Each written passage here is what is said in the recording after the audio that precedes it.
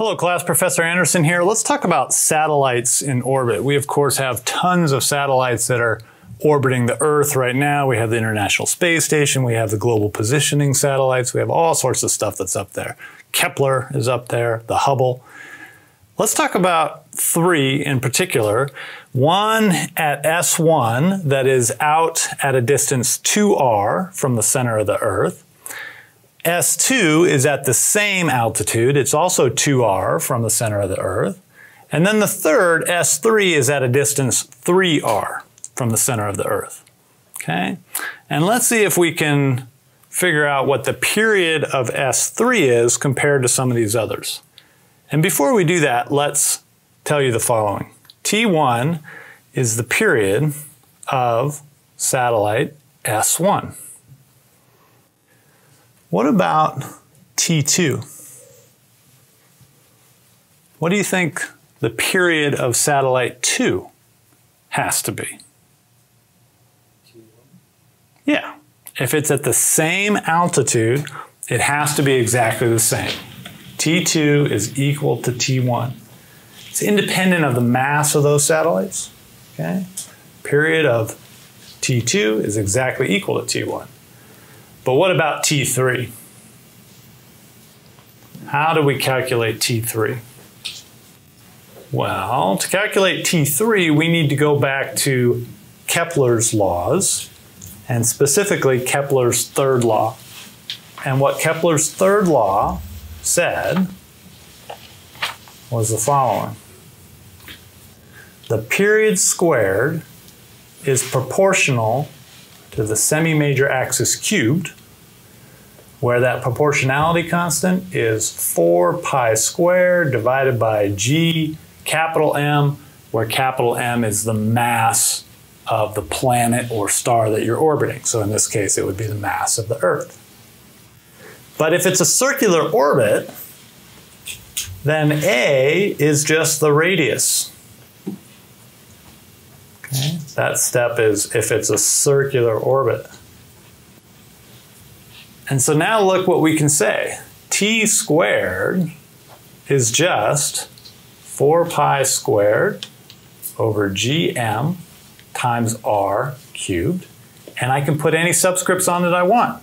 T1 squared is this stuff, R1 cubed. T3 squared is this stuff,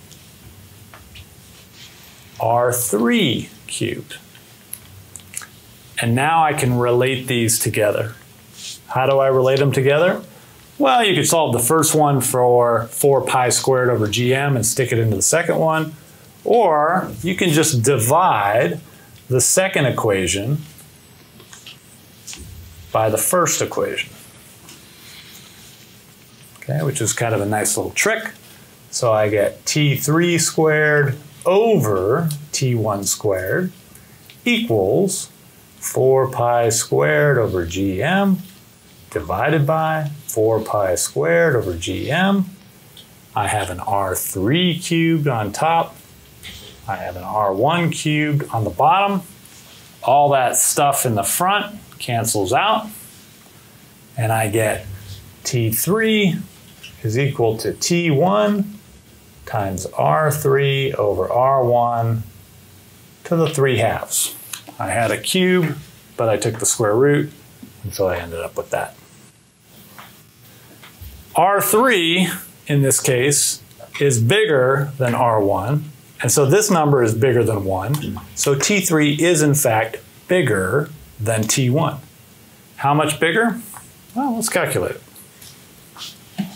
what we said here was R1 was equal to 2R.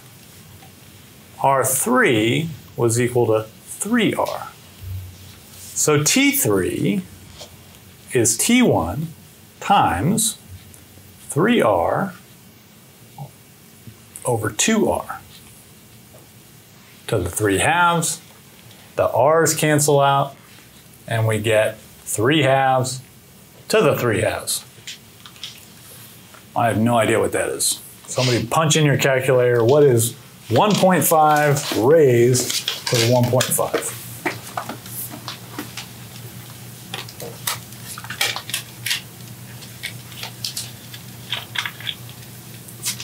One point eight four.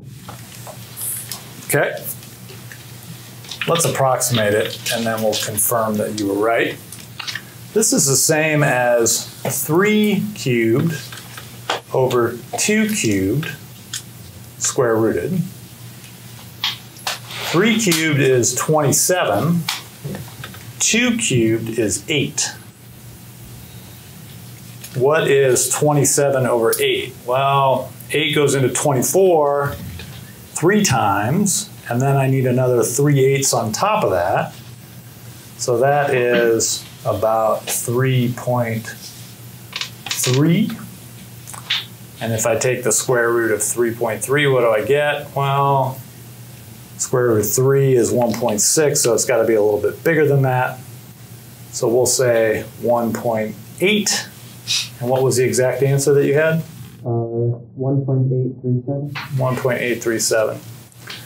And this is the power of editing. If I edit this in reverse, I didn't hear his answer first. I guessed this first. Okay. 1.837. so this is certainly a bigger number than T1, and it has this magical value in this case. All right.